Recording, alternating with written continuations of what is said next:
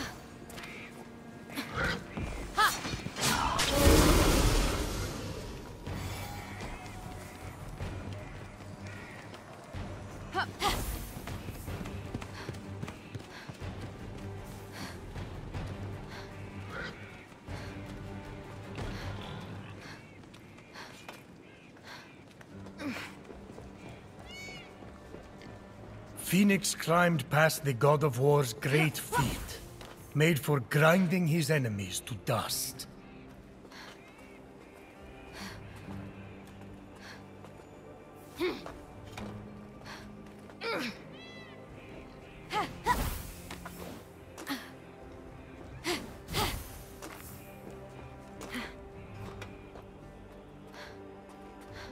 To get handsy, Ares. Excuse me.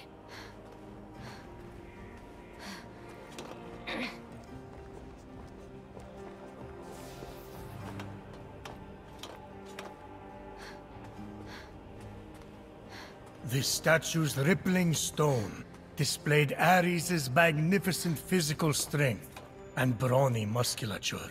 Doesn't hold a candle to me in my prime.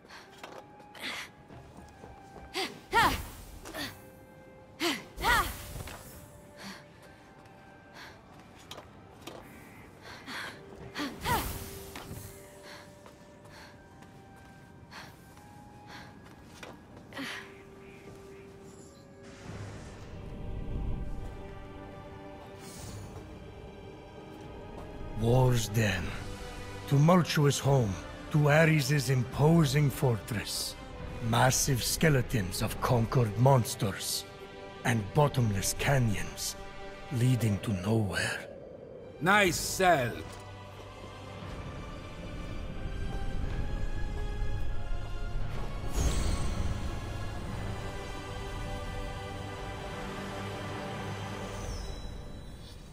As Fenyx surveyed the terrain from atop the god of war, she spied a beast so majestic it could be no ordinary creature.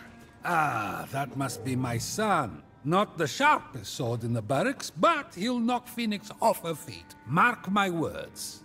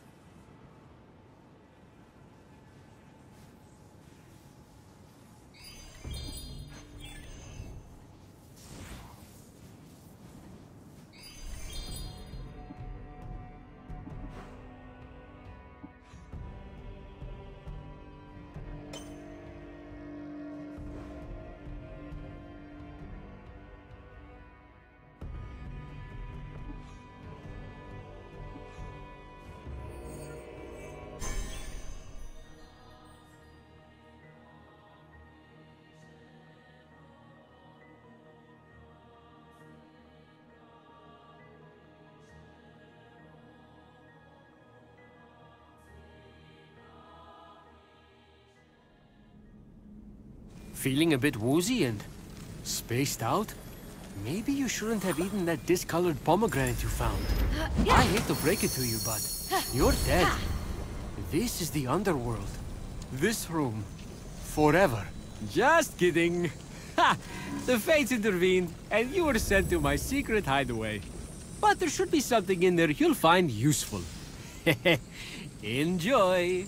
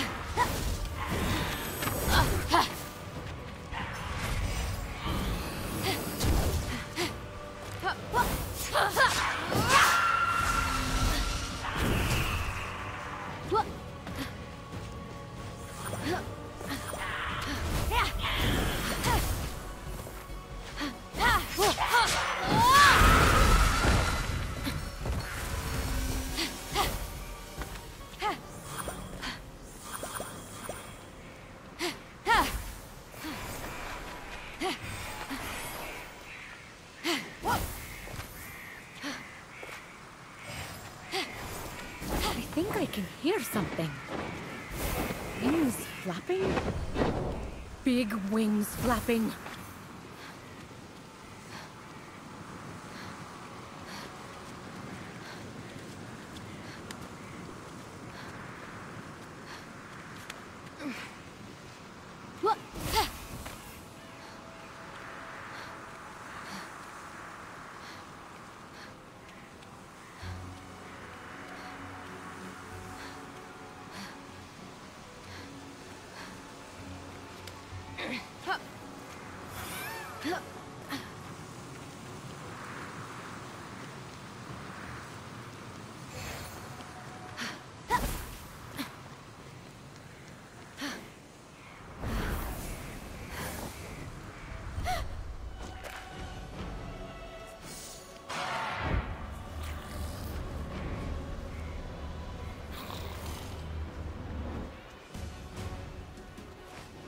Just then, Ozomene, terror of the Isles, scourge of the skies, abductor of Nike, swooped in.